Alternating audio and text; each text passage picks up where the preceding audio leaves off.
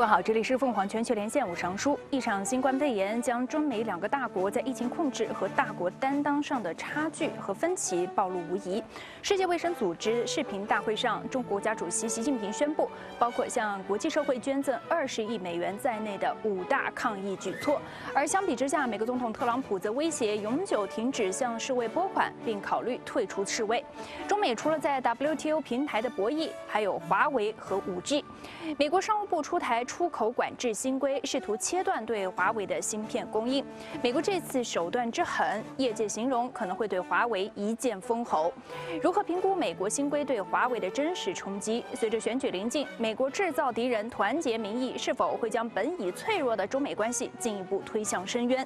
今天晚上凤凰全球连线纽约现场是凤凰卫视驻美国记者陈英谦，凤凰城现场是美国亚利桑那州立大学吴旭副教授，以及南京现场是南京大学国际。关系学院的朱峰院长，三方连线分析，从新冠应对到五 G 疫情下的中美博弈，来看刘思雨的追踪报道。I think we're going to have a, a year next year because of all the stimulus and everything else and the pent up. 美国三大汽车制造商十八号复工。疫情爆发以来，全美机场接待旅客人数首度超过二十五万，航空股当天暴涨，多州重启经济活动，大有热火朝天之势头。以一招经济牌打遍天下的特朗普，不禁要高呼一句：“天生我材必有用，千金散尽还复来。”慢着，花有重开日，人无再少年。美国新冠肺炎确诊数字早已超过一百五十五万，九万多人死亡。在冷冰冰的数字和乱嗑药的总统之间，美国人，请做出你们的选择。I happen to be taking it. Hydroxychloroquine. I'm taking it. Hydroxychloroquine. Right now, yeah. 羟氯喹这玩意儿早已被美国食药执监局等多个权威机构证明，在预防与治疗新冠肺炎的方面有百害而无一利。然而，就连白宫医生都亲自为总统先生背书了，看热闹的难道还嫌事儿大吗？I would rather he not be taking something that has not been approved by the scientists, especially in his age group and in his, shall we say, weight group, but is morbidly obese. 注意，这可是美利坚政坛排第三把交椅的大佬在电视上怼出来的话，奇怪吗？看看国会两党不忙着抗议，却都忙着在干啥，你就知道这一点都不奇怪。明眼人都知道，在已经烂透了的失业率面前，美国第五项防疫刺激方案的推出早已迫在眉睫，没有办法，创造办法也要上。抱歉，党争打嘴炮第一，老百姓的死活第二、第三、第四不重要。The legislative equivalent of a stand-up comedy, but must our Republican colleagues? gamely follow such an absurd, diversionary, and untruthful agenda? 正所谓上梁不正下梁歪，党同法异转移主要矛盾是跻身华盛顿政治圈的必修课。Look, he was an incompetent president. That's all I can say. Grossly incompetent. Thank you. 自从奥巴马表态将为拜登站台后，他对特朗普政府的批评就越发不留情面，乃至于十六号当着七十八所大学毕业生的面在线直播怼人，声称疫情揭示出在位者根本不知道自己在干什么，某人甚至连假装都不愿意假装了。而奥巴马所说的是何人呢？不言自明。怕你还是咋的？CNN 报道直指特朗普针对奥巴马的大规模政治战争即将打响。Just a whole big disgrace, and this country has better things to do. It's a disgrace. 可能嗑药用力过猛，导致肝火旺盛。特朗普十八号修书一封发往世卫，放话称，若世卫在三十天内没有重大改善，美国将永久停止拨款，并将考虑是否退群。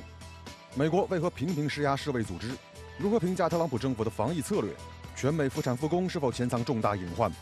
？And it doesn't matter how much money you make if everyone around you is hungry and sick. 好，各位观众，世界卫生大会呢已经正式闭幕。刚刚最新消息啊，一百九十四个成员国一致投票通过提案，将会公正独立调查这次新冠病毒的来源。对此，世卫组织总干事谭德赛表示欢迎。好，这次世卫大会啊，可谓是成了中美博弈针锋相对的一个战场。今天请出三方记者和嘉宾来全盘分析一下。首先来连线的是纽约记者陈英谦，英谦你好。我们看到，相比美国什么都不做，一直在指责之后。中国方面是用实际行动来带领全球的国际抗疫合作，包括会向国际社会捐赠二十亿美金。对此，请问美国各界有何反应？是的，杨叔。那么这一次中国在世界卫生大会上宣布要捐助二十亿美元这样子一个表态呢，在国际的各方都引起了一个高度的关注。首先，我们看到的是各国聚焦的重点就在于这二十亿美元以及中美之间的一个对立和对比。我们看到路透社就发布一则消息表示，那么这二十亿美元的一个宣布的情况呢，是正值美国宣布要撤出对于世卫组织的捐款的时刻，并且呢，我们看到这二十亿美元它的一个相当于一个什么样子的体量？世卫组织在二零一九年的整体预算呢，大约是在十七亿美元左右，所以二十亿美元呢是完全覆盖了世卫组织去年一整年所有的预算的支出。另外呢，也是美国每年给世卫组织捐款的大约是在五倍。左右的这样一个体量。那么另外呢，我们也看到各国的以及国际组织和国际媒体主要关注的一个焦点是在于中国疫苗的一个开发的进展，以及中国宣布疫苗会成为一个世界公共产品这样子一个表态。那么这个公共产品的表态呢，其实和联合国秘书长以及世界卫生组织宣布要开发一种人民疫苗这样一个概念呢，是高度的相似的，就是指全世界各国各。各国人不同的人之间呢，他们都可以公平的获得一种呃相对比较低成本的一种疫苗。那么我们看到，其实后疫情时代啊，其实各国之间在疫苗开发上的角力是越来越激烈了。无论是争夺这个疫苗的优先使用权，还是要去垄断这个疫苗的生产链，各国呃各自添加的一个砝码是。越来越多了，呃，所以我们看到中国在这样的一个情形之下，愿意去优先表态响应联合国的这样一个号召呢，其实也获得了国际组织的相当高的一个肯定。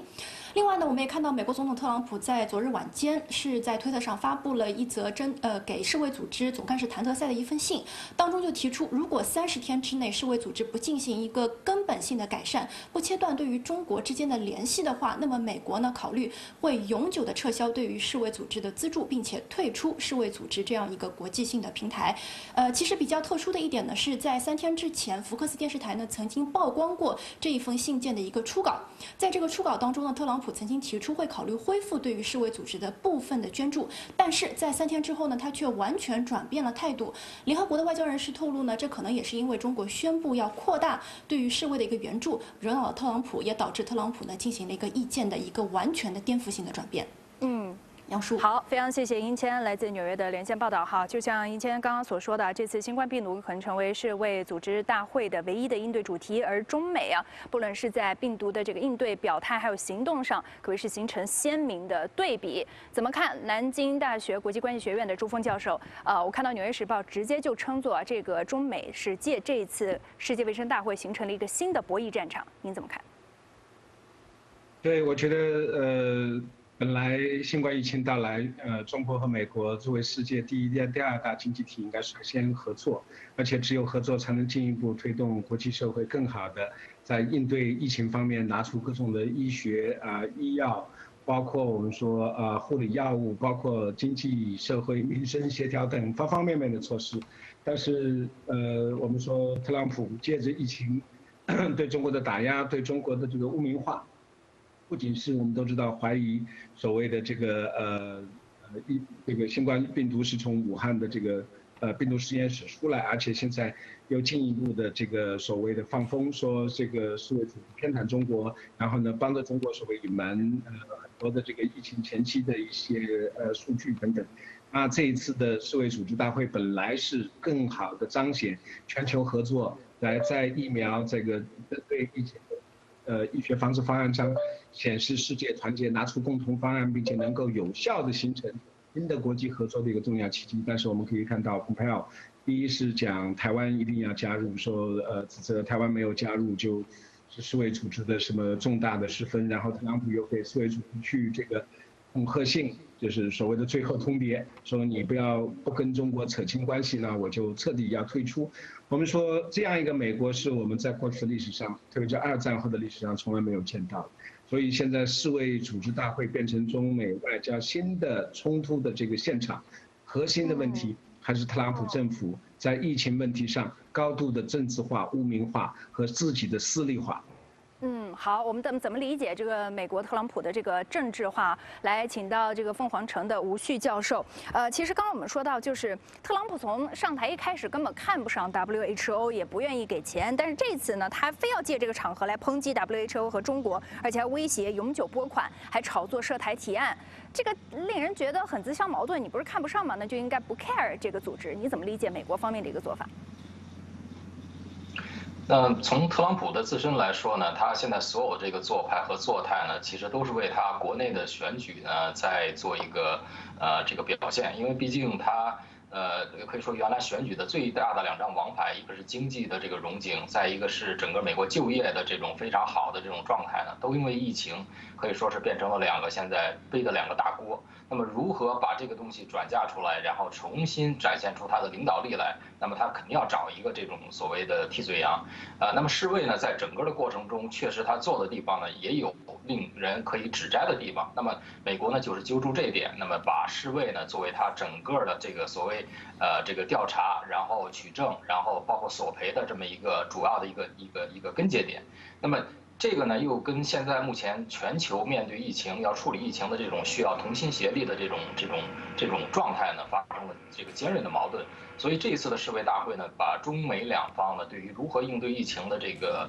这个矛盾和这个对立点呢，我可以看呃针锋相对的展现出来。那么美国这么做呢，它也一方面是当然是做做一个做的一个姿态，但是另一方面呢，确实它有一个很重的这个威胁在里面。就是说，如果一旦美国从世卫组织里面撤出的话，那么以 CDC 在在美国 CDC 在世界范围内影响力和它的网络，那么对世卫组织来讲也是一个巨大的伤害。嗯，其实刚刚你想想说到，就是美国方面抗议不力啊，是一个铁的事实。但对特朗普来说呢，他要拼命转移这个矛盾，把它转嫁到世卫组织和中国身上。那但针对他的抗议不力，其实这是民主党方面穷追猛打的一个点啊。包括看到美国前总统奥巴马最近还有的就是不点名公开批评特朗普，但是特朗普激怒了，然后说这个奥巴马犯下了值得调查的罪行。呃，你怎么看？就是我比较好奇的是，现在好像似乎成为奥巴马和特朗普之间的之争了，没没有办。拜登怎么什么回事儿？您怎么看？呃，其实这个奥巴马出面呢，他我觉得这他自己其实有三个不同的身份，一个身份当然是作为前总统。那么在美国历史上，作为前总统对他的继任总统这种公开的这种批评，其实是比较少见的。但之所以这样做呢，也是因为奥巴马看到就是民主党的候选人拜登在过去这个两三个月里面，其实这个在几次关键的这呃这个采访和这个呃呃竞选的时候呢，都显出老态龙钟，而且呢，并不是这种强力的这种攻击的态势。所以我觉得。奥巴马呢，就像呃这个这个纳瓦罗所批评的那样，那么现在这个奥巴马成了呃拜登的这个新闻发言人。当然，另一方面也更重要的是，奥巴马也是作为一个美国人，实在是看不下去了，因为美国在整个的他的这个国民国民性上有非常针锋相对的两点。那么奥巴马和这个特朗普其实恰恰反映了这两个两个这个国民性的代表性。嗯。好，所以这个特朗普这个抗议不力啊，会不会成为压倒特朗普竞选的最后一根稻草？来，南京大学朱峰教授，我们看到这个鲜有呃涉入政治的这个医学期刊《次选》就最近评价说，希望美国民众在重新投票的时候能恢复理智，选一个尊重科学、尊重公共卫生的一个总统。我想问的是，COVID-19 这个新冠肺炎，你觉得会不会改变美国民众对于投票的一个意向？我觉得从目前来看，民意已经有了很大的改变。因为一月份的民意的时候，特朗普呃，在二零二零年十一月竞选连任的这个几率大概超过百分之六十五，而且大多数的美国民众还是看好。就像刚才吴教授讲的，一个是美国经济不错，第二个是就业状况也非常的好。但是新冠疫情到现在，我们说在美国全国的这个民调来看，拜登已经开始领先于特朗普，而且在一个关键州，虽然双方咬合也比较紧。但是拜登和特朗普互有胜负。如果现在呃美国的新冠疫情这个进一步延续，特别是特朗普现在急于所谓要在科学和政治之间做自己的选择，要坚决的将所谓的复工复产，就中国化，就美国要重新重开经济，呃变成他自己今年竞选的优先事项，并进而导致有可能二次这个呃新冠呃。病毒疫情回潮，那我觉得，呃，这真的可能会成为压垮特朗普的一根稻草。但是呢，千万不要低估特朗普，他在美国的这个政治不仅是个鬼才，而且是一个我们说呃极其具有煽动力的肯呃保守美国保守的民族主义情绪势力和思想的代表。所以在这种情况下，新冠疫情也可能使得美国的整个民族主义、保守主义、极端右翼的这种呃思想进一步发酵。所以现在的选情到底到了十一月还有六个月的时间，谁胜谁负，我觉得还很难说。确实是让你说的，特朗普是一个鬼才，千万不能低估他的某一些 street smart 的一个东西啊。呃，这个吴旭教授想请教的是，其实疫情发生至今，特朗普有很多令人觉得匪夷所思的言行啊，包括他最近说自己在吃抗疟疾药应对疫情，但是美国 CDC 直接说了，吃了这种疟疾药其实是有副作用的。这些东西在中国人看来是非常反智，但是您怎么评价他的一种独特的思维和行为，以及这个背后美国人普通老百姓的一些心态？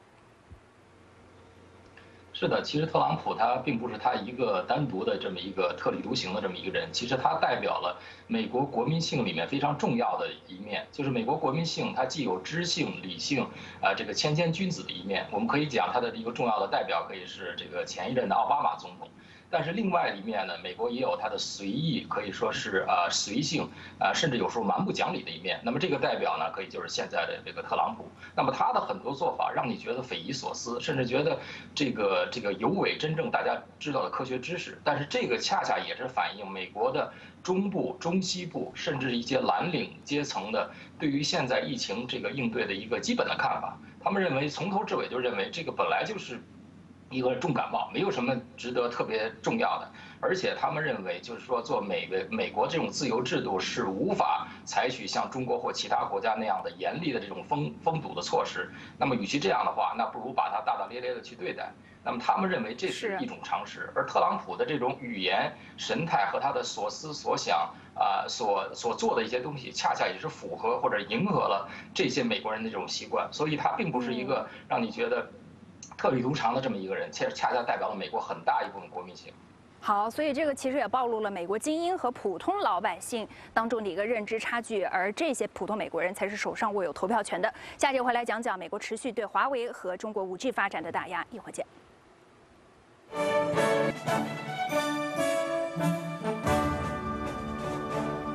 好，美国虽然现在疫情依然严峻，但并未放弃对华为的打压。我们看到美国商务部出台的一个最新出口管制新规，试图切断对华为的芯片供应。有业界形容，这可能对华为产生一剑封喉的效果。来听听华为的最新回应。美国政府为什么要不停地打击我们？坦率地说，我认为是完全没有理由的。呃，我最近也在这个阅读美国高官的一些。演讲和讲话，呃，我可以总结出一点啊，美国认为技术领先是美国霸权的基础，任何其他国家、其他公司的技术领先，可能都会损害美国的霸权。面对长期的规则不确定的制裁，我相信我们能够努力的寻找到解决方案。求生存是华为现在的主题词。求生存是华为现在的主题词。来，南京大学朱峰院长怎么理解美国这一招有点狠啊？到底对华为会产生多大的真实的冲击？我觉得，呃，当然对华为的冲击是很大的，因为现在的。国际芯片的制造商，呃，第一普遍使用美国的技术，这是毫无疑问的。第二个，一些核心的芯片生产商，事实上在政治上、在技术上、在市场上，这个对美国的依赖也都很大。比如说，我们都知道最近台湾的这个呃 SMC，这个台积电现在要到这个美国的阿里桑那去投资，而且投资一千两一百二十亿美元去建一全新的工厂。另外，我们也可以看到，包括像呃其他的这个呃台湾的芯片公司，呃富士康等等，现在也在从中国可能要观察，呃，所以呢，现在华为的影响是受到的影响打压是三个方面。第一个是首先是政治上，因为呃影响力不仅仅是通过它的所谓的国内商业部公布的法规，因为这个法规背后，它依靠美国国家机器对这个世界的主要芯片供应商。他们会产生巨大的政治甚至安全威慑效应。那第二个很重要的问题是，这个呃，中国现在有中芯国际，但是我们生产的呃晶呃芯片和这些世界顶级的一流芯的供应商之间还是有很大的呃技术差距。我们最多现在只能生产呃这个呃我们说十五纳米的，但是现在最先进的已经到三纳米，而且八纳米的现在呃最先进的这些都是呃我们说包括台积电、富士康，包括还有呃三星，呃以及高通等等在做。那当然第三个影响也很大，这个芯片呃。的这个呃，美国所所谓的让世界顶级公司对华为断供，它肯定不会使得华为的这个呃产业、华为的设备技术打掉，但是会沉重打击华为的因为你能否用顶级的国际产品、国际的技术芯片，对华为的这个产品的国际的竞争力具有重要影响。嗯，是，就是所以这个华为确实是面临一个生存困境啊。最后一个问题来问一下吴旭教授，其实我比较好奇的是，中美现在这个紧张关系啊，其实因为抗疫成功，中国现在这种民族自豪感是不断的自信心在不断的提升，然后美国现在这种反华情绪，然后对中国敌对的情绪也在不断上升，这两股强烈的情绪汇集到一起，再加上美国大选的因素，最后会碰撞出怎样的一个后果？呃，其实正如这个朱峰教授刚才讲的，就是特朗普的现在疫情呢，本来是呃他的选情呢，本来是呃可以说是呃顺风顺水，但是因为疫情的问题呢，已经把他的原来所有积攒的一些呃这个优势这个消费一空。那么对对中美关系来讲，其实特朗普的选情出现问题，那么对中美关系呢，其实蕴含着更大的一个冲击。因为双方的民意已经由原来的单纯的竞争性的这种关系，变成一种非常敌意性的关系。那么一旦敌意性的民意出现之后呢，它就会成形成这种，就是这种啊 self-fulfilling prophecy，就是自己形成一些事件，然后事件的推发民意的更加激化，然后激化又形成新的事件。所以在未来的这个半年里面，不仅说疫情的问题会非常关键，那么特朗普的选情问题也可能直接造成中美之间出现擦枪走火，然后重新。这个激发这种双方的这种民意，因为这种民意对于对于特朗普的选举来说是一个重大的利好。那么他没有其他的这种经济和其他的东西来来显现的话，那么一旦民意这边站在他这一边的话，对他的选举也是一个非常关键的一个支撑因素。嗯，好，所以打压华为其实只是美国对中国敌意的其中一个表现。今年中美关系会是非常充满挑战的一年。谢谢我们的两位嘉宾还有记者带来精彩分析，谢谢您收看，再会。是最佳前任，哪有借口怀恨？论一个伤心人，我演得入木三分，太感人，希望他能连任，赢得你的信任。初心人不要辜负客人，含着泪听到的海誓山盟。